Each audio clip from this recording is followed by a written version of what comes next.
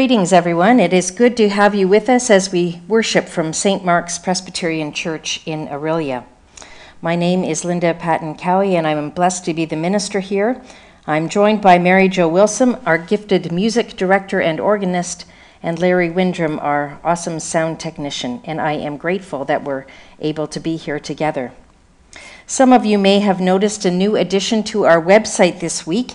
Mary Jo is doing a hymn of this a hymn of the week, and uh, you will I know you will enjoy it as much as I did. It's it's quite lovely to have that and hear the the story behind those hymns.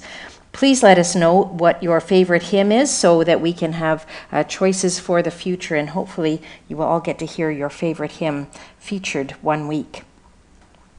We're also very grateful for the many encouraging and uplifting messages we received after our first broadcast service. So, thank you so much for taking the time to reach out and respond to worship.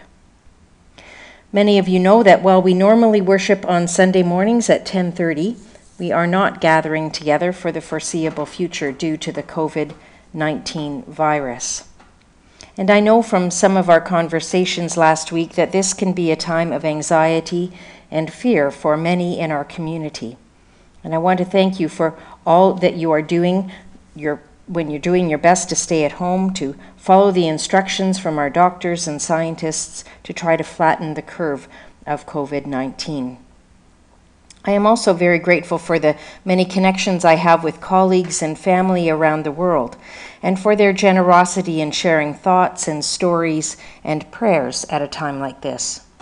One of my colleagues shared a new perspective on this curious time in which we are living, and I found it helpful and would like to share it with you now. I would entitle it Be the Bear. When a bear goes into hibernation, they do it for the health of their community and themselves. In the winter, when food is scarce, hibernating allows other animals to have access to limited resources. It slows the spread of disease and viruses among other animals during a season when immune systems are lowered and energy is limited. It is also a time of conserving health for the bear, and for us perhaps, a time for reflection. It is a time that allows you to renew, to undergo change, to honor your place in life and food cycles. It is not a time for anxiety or fear. When it is time for hibernation, a bear can finally relax. All of the stress of finding food and territory and a mate disappears. The bear believes that they have done enough and trust in themselves. They know this process is necessary and that they will come out the other side renewed. So be the bear. Stay home. Rest. Know you are doing this for something much bigger than yourself. And I would add, don't just trust in yourself, trust also in God. Thanks to my colleague, the Reverend Gail MacDonald, for sharing that with me. And now, even though we are apart, let us join our hearts together as we come to worship God, as we hear the words of Psalm 25. To you, O Lord, we lift up our souls. Our God, in you we trust. Help us to know your ways, Lord. Teach us your paths. Lead us in your truth and teach us, for you are the God of our salvation. For you we wait all day long. Come, let us worship our God together.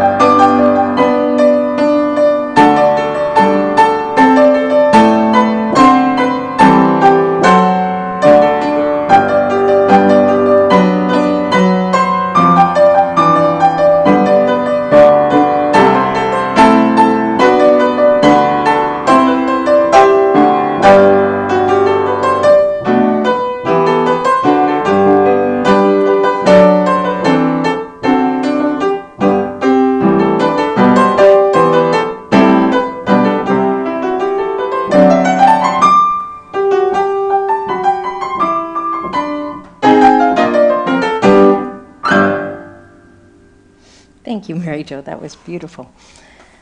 Now let us turn our hearts to God in prayer. Let us pray. Creator God, we are so grateful for the precious and yet vulnerable gift of life you have given to us. We thank you that even before we were born, you knew us. You held us in the palm of your hand, that you care for us and you love us. We thank you for the gift of your Son, Jesus, who, while he was on earth, brought comfort to his friends and new life to those who believed in him. Remind us in difficult times that we too are friends of Jesus and that he is only too willing to be a source of comfort for each of us. We are grateful for the presence of your Spirit, which binds us together and reminds us of your love and care for us. May the Spirit draw us together now as we worship you in new ways. Oh God, some days it seems like we are calling to you from the very depths of our souls. We are aware that if you were to tally our sins and failures, there would be no hope for any of us. We recognize the many ways we have fallen short of being who you created us to be. And we lay before you now the harmful things we think and say and do, the callous way we sometimes treat the people around us, the selfishness that puts our needs ahead of the needs of others. And we pray that you would forgive us and change us and allow us to start afresh every day. We pray this in the precious name of Jesus and use the prayer he taught us to pray as we say together Our Father, who art in heaven, hallowed be thy name. Thy kingdom come, thy will be done on earth as it is in heaven. Give us this day our daily bread and forgive us our trespasses as we forgive those who trespass against us. Lead us not into temptation, but deliver us from evil. For thine is the kingdom, and the power, and the glory, forever. Amen. Sisters and brothers in Christ, hear the good news. With unfailing love, God offers us forgiveness, complete forgiveness that erases our sins completely and allows us to begin again. So be at peace, knowing your sins are forgiven. Thanks be to God for this wonderful gift. Our scripture readings today are for the fifth Sunday in Lent, and we're going to begin with Psalm 130. Out of the depths I cry to you, O Lord. Lord, hear my voice. Let your ears be attentive to the voice of my supplications. If you, O Lord, should mark iniquities, Lord, who could stand? But there is forgiveness with you, so that you may be revered. I wait for the Lord. My soul waits, and in his word I hope. My soul waits for the Lord more than those who watch for the morning. More than those who watch for the morning. O Israel, hope in the Lord, for with the Lord there is steadfast love, and with him is great power to redeem. It is he who will redeem Israel from all its iniquities. Thank you.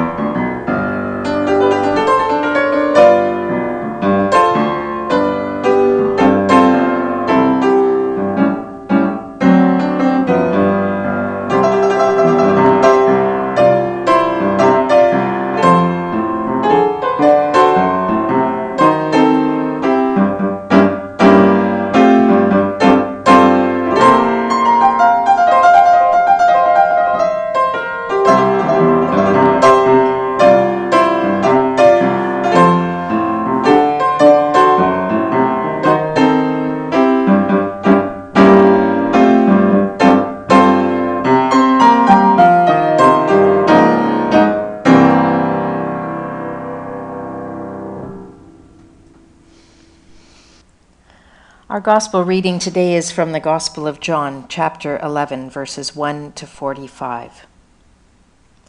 Now, a certain man was ill, Lazarus of Bethany, the village of Mary and her sister Martha. Mary was the one who anointed the Lord with perfume and wiped his feet with her hair. Her brother Lazarus was ill.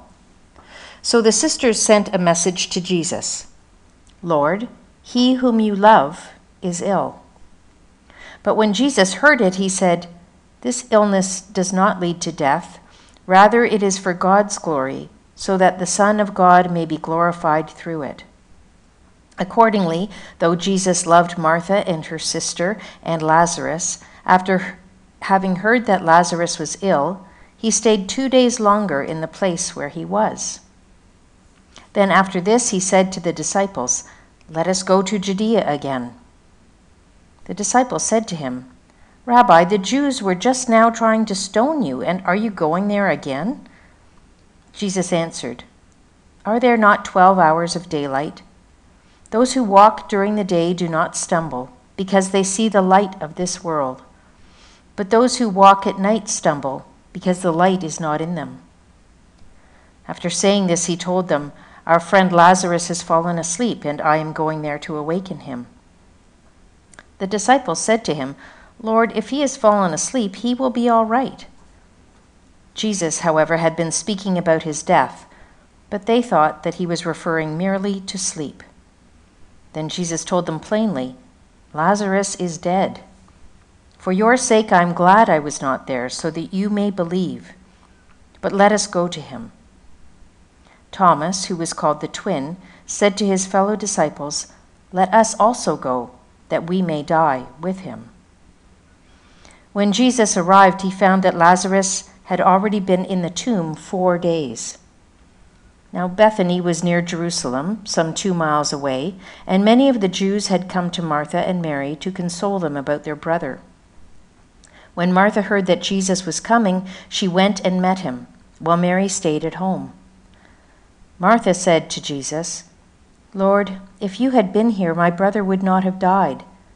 But even now I know that God will give you whatever you ask of him. Jesus said to her, Your brother will rise again. Martha said to him, I know he will rise again in the resurrection on the last day. Jesus said to her, I am the resurrection and the life. Those who believe in me, even though they die, will live and everyone who lives and believes in me will never die. Do you believe this? She said to him, Yes, Lord. I believe that you are the Messiah, the Son of God, the one coming into the world. When she had said this, she went back and called her sister Mary and told her privately, The teacher is here and is calling for you. And when she heard it, she got up quickly and went to him. Now Jesus had not yet come to the village, but was still at the place where Martha had met him. The Jews who were with her in the house, consoling her, saw Mary get up quickly and go out. They followed her because they thought she was going to the tomb to weep there. When Mary came where Jesus was and saw him, she knelt at his feet and said to him, Lord, if you had been here, my brother would not have died. When Jesus saw her weeping, and the Jews who came with her also weeping, he was greatly disturbed in spirit and deeply moved. He said, Where have you laid him? They said to him, Lord, come and see. Jesus began to weep. So the Jews said, See how he loved him. But some of them said, Could not he who opened the eyes of the blind men have kept this man from dying? Then Jesus, again greatly disturbed, came to the tomb. It was a cave, and a stone was lying against it. Jesus said, Take away the stone. Mary, the sister of the dead man, said to him, Lord, already there is a stench, because he has been dead four days. Jesus said to her, Did I not tell you that if you believed, you would see the glory of God? So they took away the stone. And Jesus looked upward and said, Father, I thank you for having heard me. I knew that you always hear me, and I have said this for the sake of the crowd standing here, so that they may believe that you sent me. When he had said this, he cried out with a loud voice, Lazarus, come out! The dead man came out, his hands and feet bound with strips of cloth, and his face wrapped in a cloth. Jesus said to them, Unbind him and let him go. Many of the Jews, therefore, who had come with Mary and had seen what Jesus did, believed in him. This is the word of our Lord. Thanks be to God.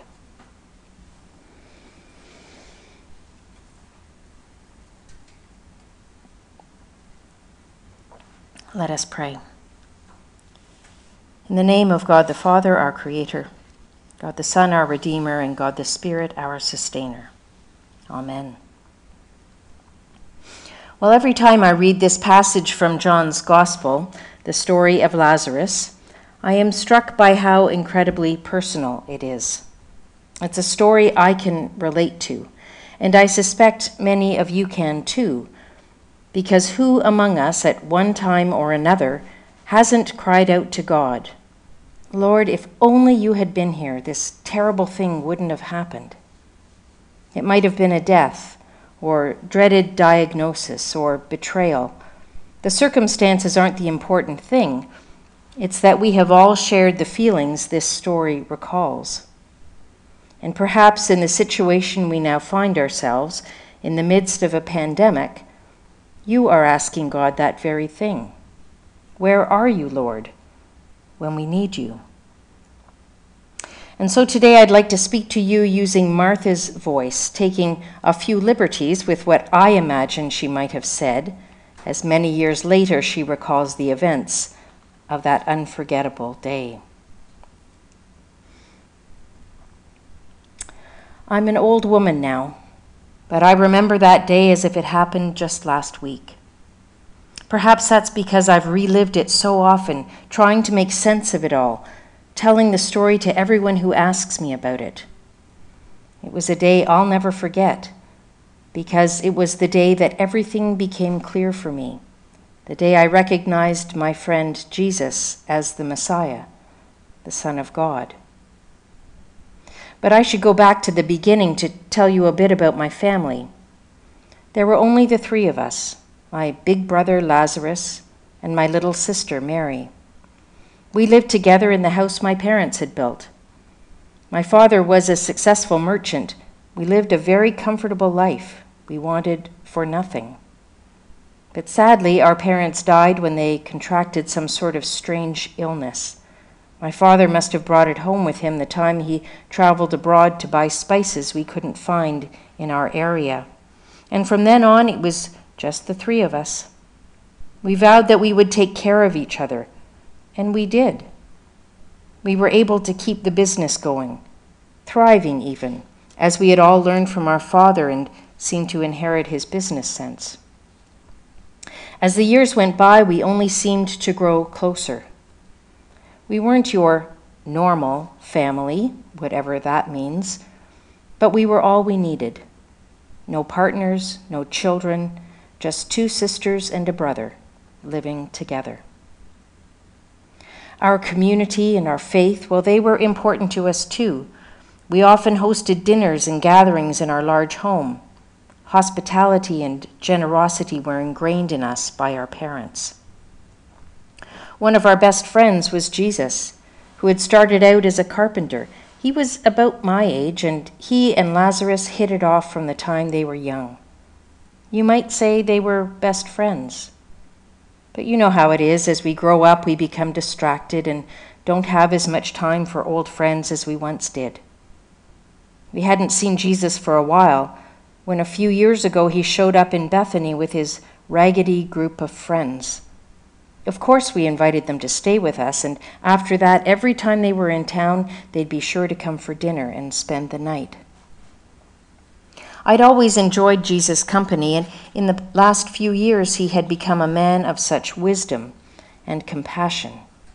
There seemed to be another dimension to him that I hadn't seen when he was young. He wasn't like most of the men in our community. He didn't let the fact that I was a woman keep him from speaking to me about all sorts of things, deep things. like I was his equal. And Lazarus, well, it seemed he couldn't spend enough time with Jesus. They would sit up well into the night, talking and debating and laughing. They became as close as brothers, or maybe closer, as they weren't always competing with each other. Mary, my little sister, also loved spending time with Jesus. Sometimes too much time, leaving me to do all the preparation for meals. I used to resent that, but Jesus gently reminded me that there are many ways to serve. We'd been hearing stories about Jesus, about the things he was able to do as he traveled the countryside. Incredible things like turning water into wine. I wish he'd shown us that ability to eat at our house. But in all seriousness, we'd heard about other life changing abilities, miracles, really. He was able to heal the sick cast out demons, bring sight to the blind. Why, just a few weeks before, we'd heard about a blind beggar whose sight Jesus had restored merely by mixing his own saliva with the dust of the earth and putting it on that man's unseeing eyes. The Pharisees were so angry about that because it happened on the Sabbath that they ejected the poor man from his synagogue and cut him off from his whole community. There was talk that the Pharisees were tired of Jesus and his miracles, and the way he always seemed to get the better of them when they insisted he follow the letter of the law. But you want to hear about that day, don't you? For a few weeks, Lazarus hadn't been feeling well. He seemed to be getting weaker and weaker, and nothing we did seemed to make a difference.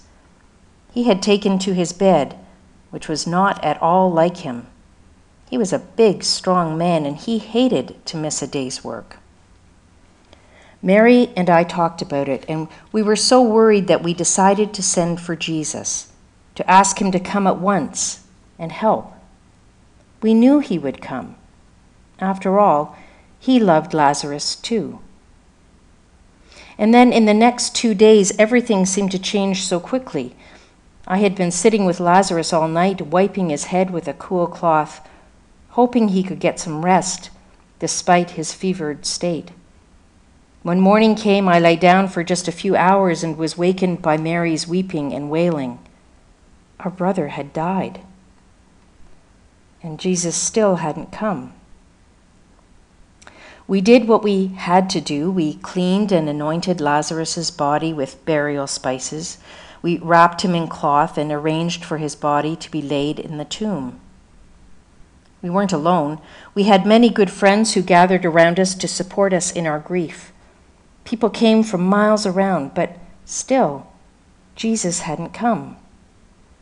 Where was he when we needed him? It was four days later that he arrived.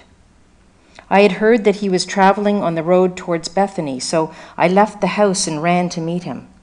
And I couldn't help myself. The first thing I blurted out was, Lord, if you had been here, my brother would not have died. And then I remembered who it was I was speaking to and added, But even now I know that God will give you whatever you ask of him. And Jesus looked at me with those kind eyes, and he said gently, Your brother will rise again. Well, I knew what our people believed about the resurrection, and so I assured him that I knew that Lazarus would rise again in the resurrection on the last day. And that's when Jesus took me aside and gently placed his hands on my shoulders. He stooped down a bit and looked right into my eyes.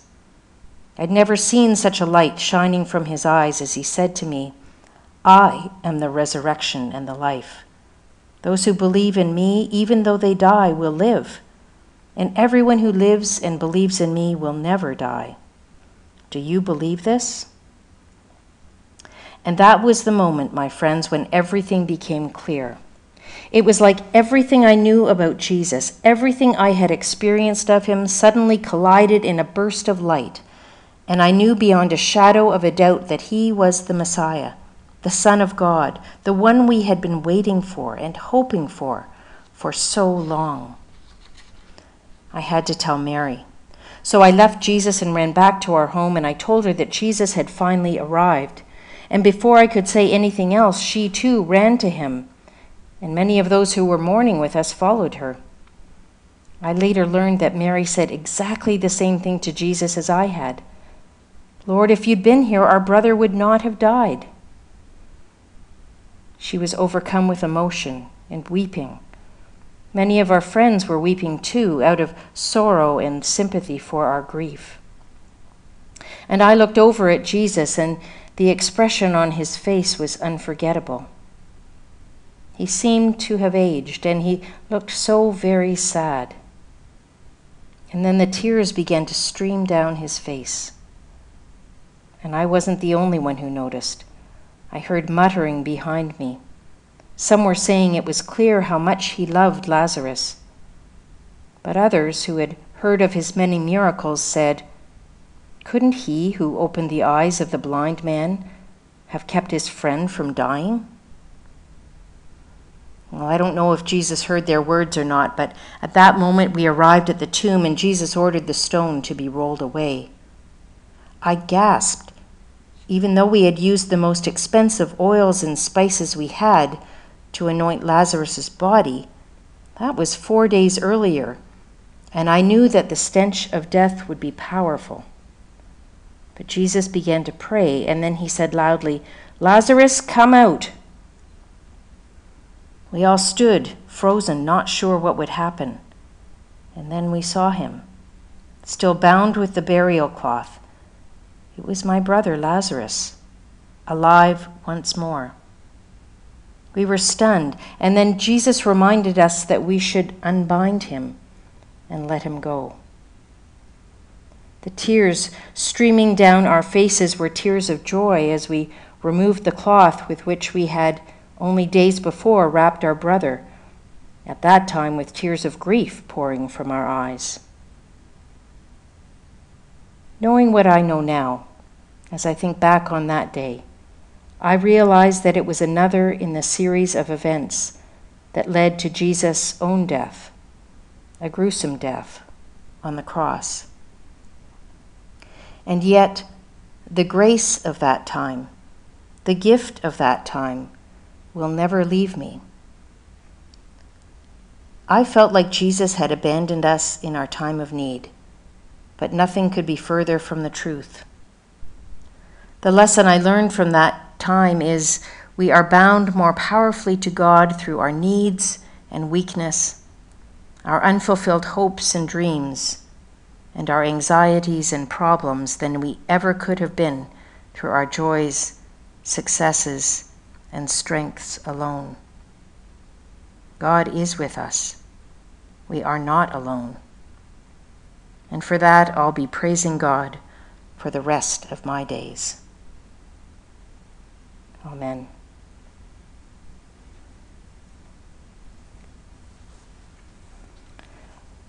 We have included with uh, the email that went out and on our website the words for our next piece of music in the quiet curve of evening, as well as the words for our final piece of music that uh, is in the bulb There is a Flower. So if, if you would like to make those available to you right now, you can sing along as Mary Jo plays for us in the quiet curve of evening.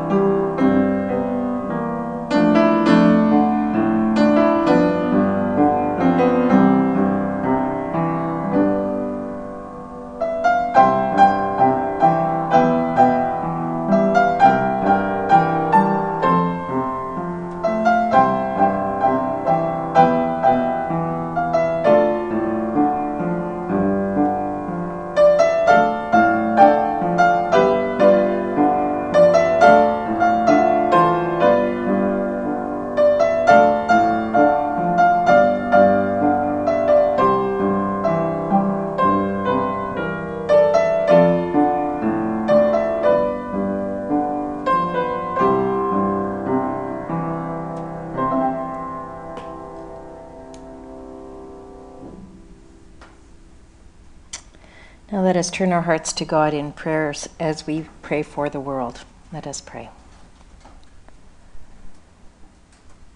O God, you are God of the unexpected, the unbelievable, the undeserved. We thank you for the ways you call us from the dark places in our lives, for the ways you continue to unbind us and set us free to live as your beloved children. O God, you shared your very breath to give us life. And we think of those who find themselves in dark places who cry out to you today and ask for the strength to make it through the night, even as they long for the first rays of morning light. We ask that you would meet them in that darkness, whether it be the darkness of illness or grief or fear. We name in silence before you now those who are dear to our hearts and in need of your help and your guidance.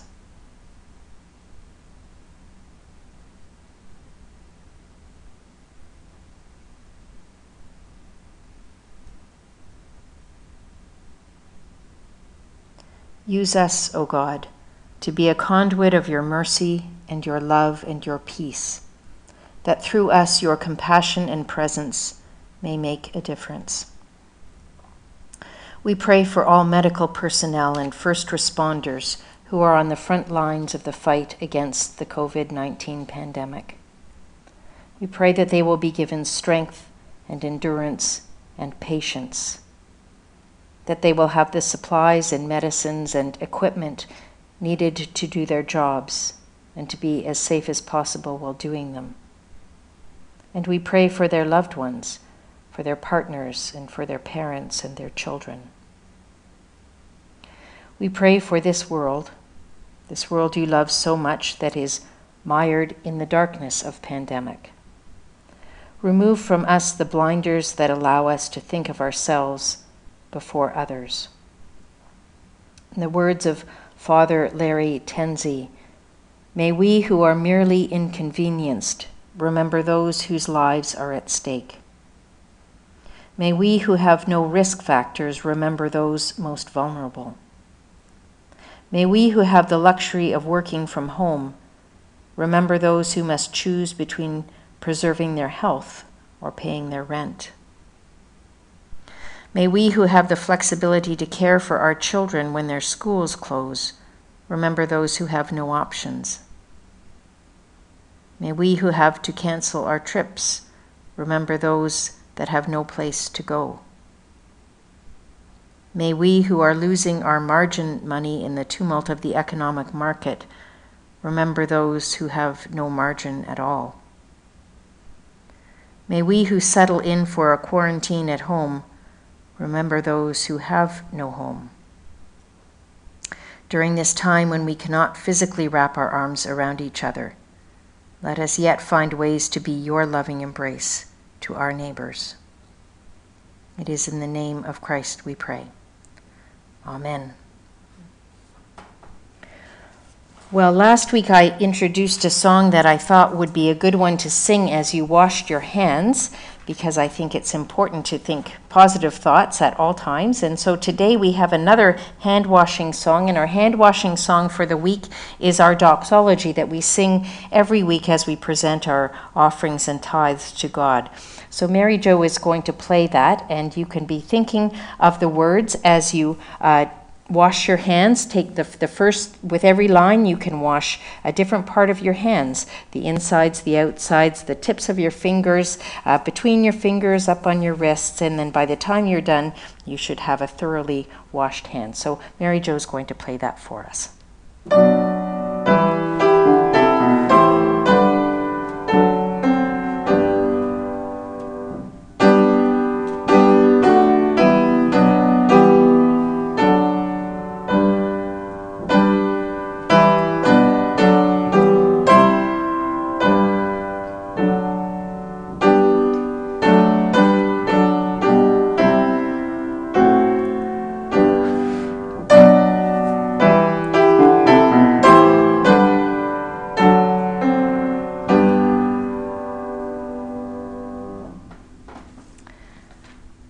It's time for our final hymn, and as I said before, the words to this are included on our website, uh, and so we hope that you will join along as we sing In the Bulb There Is a Flower.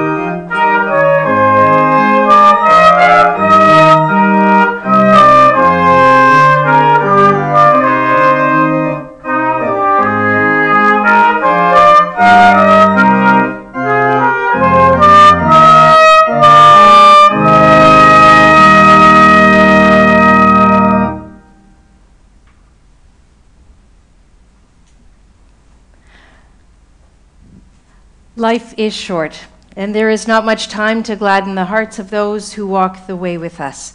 So make haste to love, be swift to be kind. And may the grace of our Lord Jesus Christ, the love of God, and the fellowship of the Holy Spirit be with each one of you and those you love, this day and forevermore. Amen.